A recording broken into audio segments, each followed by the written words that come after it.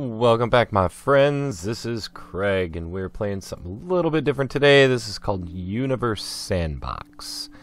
And I picked this up in the uh, Humble Bundle uh, with a couple other games, so I'm going to be doing some quick little videos on all these games. This is just, um, I don't know if I'd really call this a game. This is more of a sciency simulator. There's no goal to the game. There's no purpose. Um, it just simulates solar system and gravitational effects and and that sort of thing. Uh, right now, you can see we're looking at Earth. See how accurate a representation. There's Africa. There's Europe.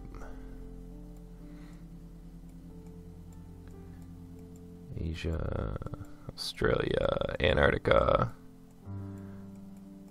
And it looks like it's the middle of the night here in the uh, US and North America, South America. So, starting off just here on good old Earth and the moon. Uh, the sun is going to be off in that direction somewhere. It's not rendering in this specific scenario just because I've only selected the Earth and the Moon. Um, I've just got a couple minutes into this game so far. I went through the tutorial. Um, I was kind of hoping there would be a little more that you could see and and point to and you know have labeled and stuff on the surfaces. I did go and visit Titan. Uh, let's see if I can figure out. Let's see. We'll go to our solar system and we are looking for where's Saturn? Let's go to Jupiter. There's Pluto. Well there's Pluto. And holy cow Jupiter's just a flying. Let's slow this down a little bit huh? Uh, this way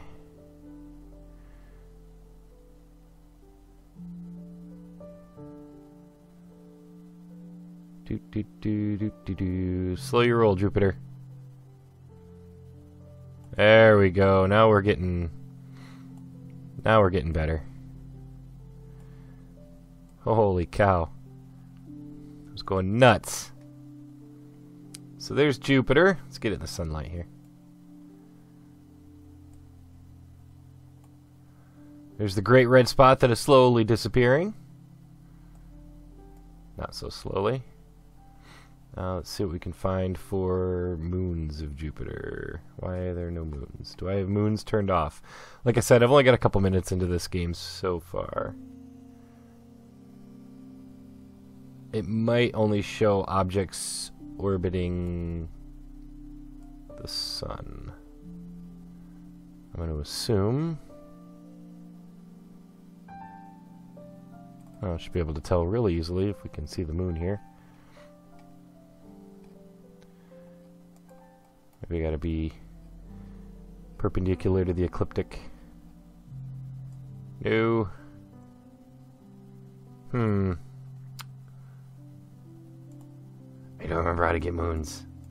Um, but I thought this was really neat and fun things to do. Uh, let's see. What would happen if the sun or the Earth was the same mass as the sun?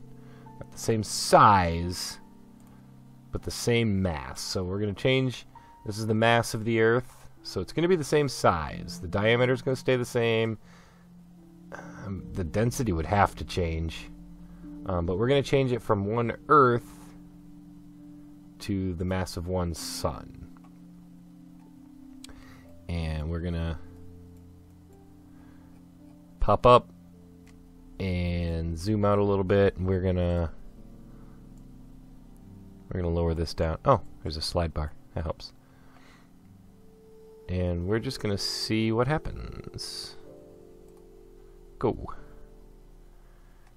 And you can see everything's not only going around the sun which is right here but everything's gonna start getting affected by the earth. Why did it stop? That is weird. Kick this up a notch here.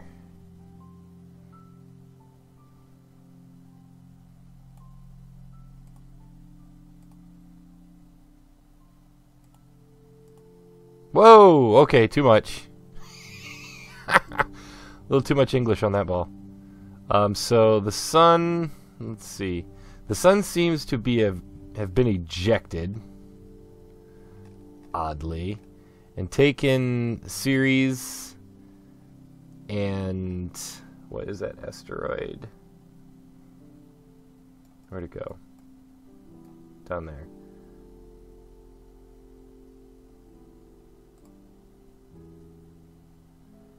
Calliope. I'm not familiar with that asteroid. Uh, Ceres is a dwarf planet. Um, so the sun got ejected, oddly enough. Where did Earth wind up? Oh, there's Saturn. Saturn is on an outbound trajectory. Oh, so is Earth. What did Earth manage to pick up? Yeah, here. Focus on you. Earth picked up something. Venus! Earth managed to pick up Venus. So it's taking Venus along with it for a ride out into interstellar space. Which I don't know if it really qualifies interstellar space since the sun kind of makes its own. I guess it would be because we'd be leaving the sun. Mars is gone. Jupiter's gone. Just, oh, Mercury's just way out of there. Yeah, that just wreaks havoc. Wreaks havoc. Um, so just kind of fun little.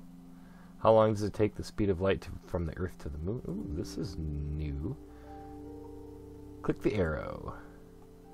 This is our solar system with the Earth set at the center. Okay. Slow down time. Okay.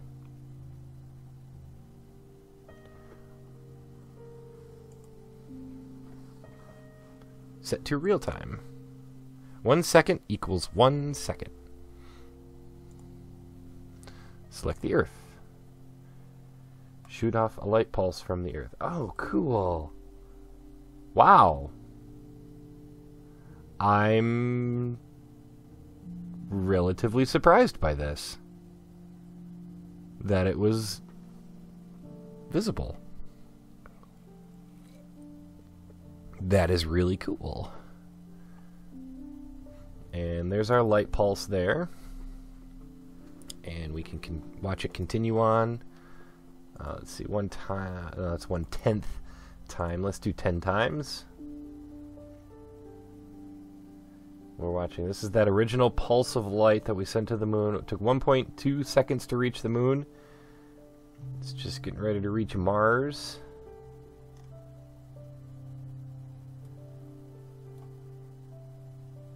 And we're traveling, light's traveling 10 times faster right now.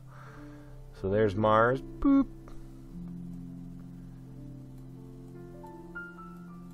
And next up will be the sun because it appears at this juncture of the scenario, Mercury and Venus are on the opposite side of the sun relative to us. So then we reach the sun which, if I remember correctly, I believe is like eight minutes. I'm thinking back to Astronomy 101. I, I want to say it's like eight minutes, but I'm probably incorrect on that. Um, but that's pretty cool. Shoot off another light pulse. Okay. Zoom out to see where the light is now. Well, see what the first one is. Pew! Pew! uh, that's awesome. Black hole. What's the black hole do? Diameter of the Earth changed. What? I didn't see what that said. Did we just convert Earth into a black hole? Oh, its escape velocity equals the speed of light now. Okay. Cool. Um, so yeah, there's an, a bunch of preloaded scenario. Oh, that was under fun things to do back. Launch asteroids at Earth. Alright, so we will do an asteroid impact and then we'll kind of cruise around at some other stuff.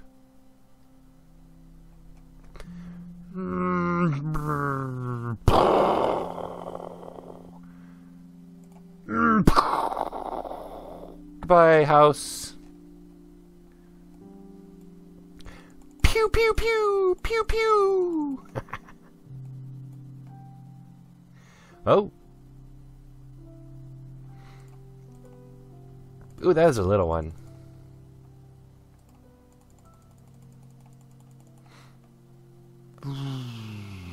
And I, I kind of want to play around with this to see if I can just randomly get it into an orbit. They're just shooting off into interstellar space at the moment. Alright, so let's stop the shenanigans. We're going to go new. No, not new. Um, let's look at... Oh, Saturn and its moons. That was the first one I was looking at. Okay. So we go to Saturn and its moons. So there's Saturn, and it's got its rings set up as individual particles, which is pretty cool, actually, because that's the way they really are.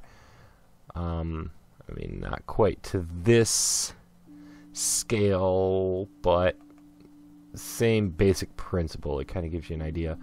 Um, here's Titan. There's been a lot of news on Titan lately. And go check that out. And I, I was hoping for detail onto the moons. Um, but sadly, there is not. Whoa, whoa, whoa.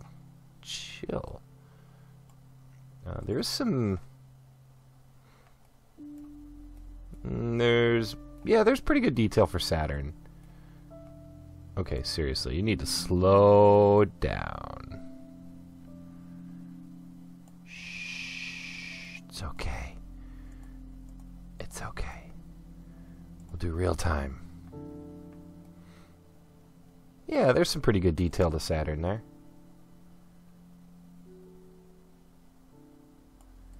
It ain't photo quality, but I will take it. We're inside Saturn at the moment, landing.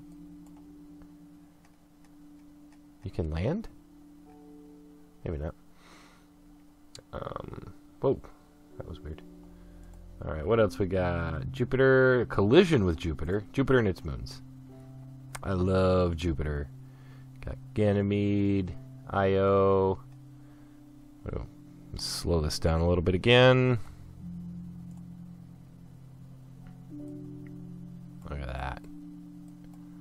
Love it. And we got the red spot in the sunlight. This little ring system. Now, a good chunk of these moons you can actually see um, with minimal minimal magnification. I mean, a good set of binoculars, you can pick out a couple of the moons of Jupiter. Um, they actually get out pretty decently far. What is this? So yeah, these are all the bodies that are trapped in the gravitational pull of Jupiter. There's just a ridiculous amount of them. Saturn even has more. Um, let's look at local galaxies. So here we are in the Milky Way. There's our sun. And if you zoom out a little bit, there's all this crap. You can kind of see the bars of the spirals. And we are in between two of the arms of the spiral, uh, about two thirds of the way out from the center. And if you go all the way into the center, whoa, we um, we have a supermassive black hole in the middle that powers the entire thing. I seem to have lost my ability to zoom. Exit sur- oh, I was on the surface. Did not want to be on the surface. Um, so then if we zoom out, there is Andromeda. And these are just various other... These... How far out are these?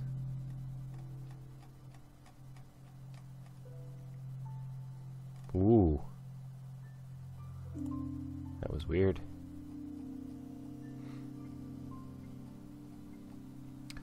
Alright, so back to Andromeda.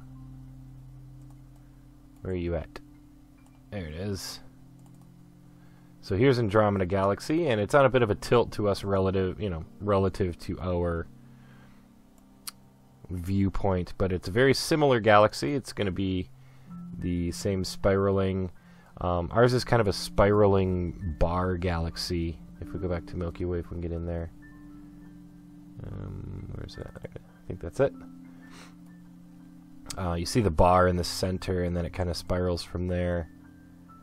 Where's Andromeda? There it is. Orient yourself to space and time. And um, whereas Sagittarius doesn't have quite as defined of a bar in the center. Uh, if I had prepared myself a little bit more with this video, I could have remembered why, but off the top of my head, I don't remember why. Um, and then, so this is our closest galaxy, and actually about three and a half billion years or so, give or take. Um, we're actually on a collision course with Andromeda. And I wonder if that has a simulation in here.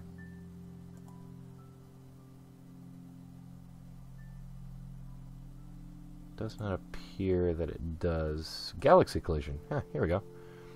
Um, so, and this is actually a pretty good representation. That's about the same orientation. It's kind of a classic video. If you if you do some research, this will be a classic um, simulation of galaxies colliding, and it's something obviously none of us are going to witness, or you know, mankind in general is not going to witness in three and a half billion years from now.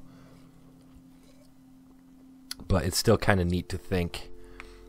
And surprisingly, I mean, this would not mean the end of you know our solar system and the end of the sun or anything like that. Um, I mean, the sun quite possibly you'll be burnt out at that point. Anyways, um, but even with a collision like this, the actual stars that it contains, the likelihood of any two stars actually colliding is infinitesimal. Like it is, it is not going to happen. There's, you're talking about throwing a handful of sand at another handful of sand 10 feet off the ground 30 feet away the chances of two pieces of sand hitting each other is it's just not going to happen um, what it does do is you get a lot of gravitational fun and you see a lot of stars get ejected from the entire mass and the centers, you've still got the two supermassive black holes in the center of each that'll retain a portion of their stars. Ooh. Whoa.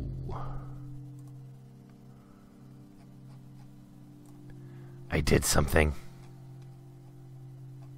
Exit surface view. I don't know what I did. Um, darn it.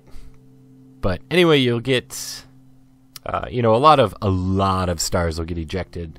Uh, more than likely, their planets will just travel along with them, and they'll just meander on through space as normal, and they just won't be a part of that galaxy. You know, or the new the new super galaxy that would come out of it or you know they would eventually fall back into a regular orbit. I don't know if you can see my pointer. I'm I'm doing things um, but you know they they would not be in their normal orientation, but it also would not mean their destruction. So it's it's one of those things that's kind of neat and kind of bring that back up here. Um, it's just kind of it's scary, but it's really neat to think about in my mind. Like you just see these massive bodies, and you just think massive fiery explosions and and all doom, and it's it's just really not like that at all. And I would try to speed it up again, but I don't know how. Um, let's go back to our solar system. Pause this. We can chart out relative sizes of everything, which I think is really neat. So, first off, you've got the sun. Obviously, that's going to be the biggest bit thing in the solar system. And um, continue, you know, we've got Jupiter, is the next largest, and these are to scale as far as I understand. Um, you know, reading through the wiki and that sort of thing, that these are actually to scale. And then you have uh, Saturn, and wait, yeah, Saturn, and then Neptune. Why?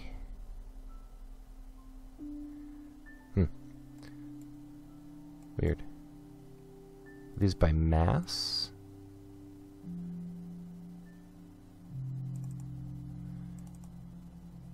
Diameter is 49 248. They must be my. These are organized by mass, not by physical size. Um, Uranus is less dense. It weighs less than Neptune does, even though it's bigger. Um, so Neptune is composed of more ice and dirt, where Uranus is composed more of, um, you know, ice vapor, so to speak, snow, or or you know, different variations of gases, that sort of thing. So it's it's larger, but it weighs less, so that's why it seems a little bit out of order. And then uh, next up we have Earth, and there is a substantial difference uh, between the you know the outer giants and then the rocky inner planets. As you can see, I mean you could fit multiple Earths into uh, Uranus, and obviously going up. Um, Mars very similar in size and density to Earth, um, or Venus. I mean, they're very very close. And then you have Mercury or uh, Mars. I'm reading ahead. Then Mercury, and then it even gets into some of the dwarf planets, um, which right here we have um, Eris, which is actually slightly bigger than Pluto, which we will finally get to see up close photos of next July 2015. Um, they've got the probe heading out that way. Uh, Deep Horizons, I believe. Um, I remember when it launched. I was I was really stoked about it and thinking, "Oh my God, we've got forever until we see these photos." And um, and here here it is. You know, now just under a year away. Um, I think last week uh, it was like the the 13th or something like 13th or 14th, somewhere in there of 2015 is uh, of July is when it's going to be making its rendezvous. And then um, farther out, we've got more of the dwarf planets going out all the way out, and then some asteroids. Pretty cool. Um, but yeah, it's just kind of a neat little toy. There's not much gameplay involved, but it's fun to just kind of play around with. Uh, this appears to just be a blob of moons, and then you get to watch them. Um, you can change, you can change the color based on acceleration, um, velocity. You see them kind of congealing here. And this, I mean, this is kind of demonstrating accretion too, which is you know the, the formation of planets and moons and asteroids and stuff. So it it's kind of a neat demonstration for accretion, and and I'm sure there's a lot more options to utilize in this other than what I've played with. Um, pull up some more of the close by stars and do similar to whoa to what we did uh, with the planets. So let's see if we can find the sun out of this bright ball of gas and dust. And where is the sun? There's the sun right there. So out of the nearby stars, the sun appears to be the fourth most dense. Um, if assuming these are all still going by density. So we have like the Neptune of suns.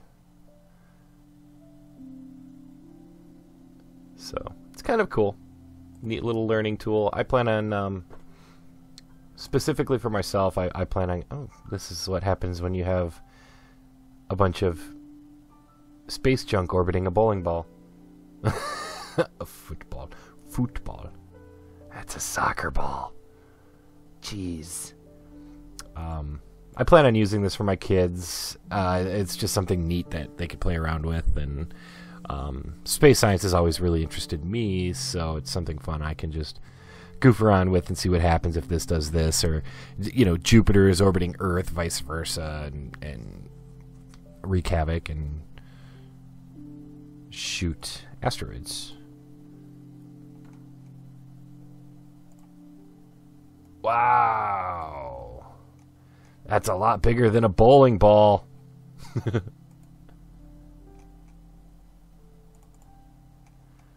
Back into our bowling ball system and see how much that. Uh... Oh, look, they're all they're all going in for for a landing here. Let's get this sped up.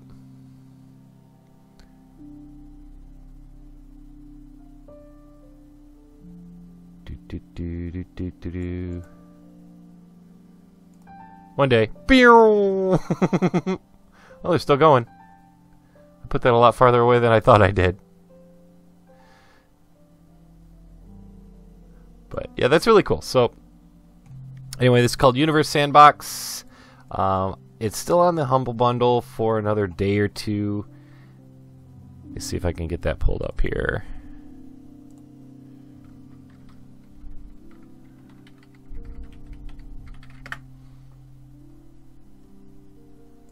It was on the weekly bundle, and it looks like there is five days remaining. I honestly don't even know what today is. So probably the 22nd of July. And it is currently only available for Windows on this one. This is Universe Sandbox, and it is it is available for standalone. Um, and I'll put the link in the description video for both the Humble Bundle and for um, the the game by itself, and it's also available on Steam. So if uh, if you want to pick it up, take a look at it. It's really neat. Um, like I said, it's not much of a gameplay game, but it is kind of a cool little. Ooh, there was more down here. Um, cool little tutorial. Uh, show you a little bit about you know space sciences and gravitational stuff. Um, help you out with your Kerbal Space Program with the Kerbins. And I thought this was a good thing. I'm playing this on uh, John Glenn's birthday, so, you know, I thought it was appropriate. So, anyway, this has been Craig. You've been watching some Universe Sandbox. I will see you guys next time. Later.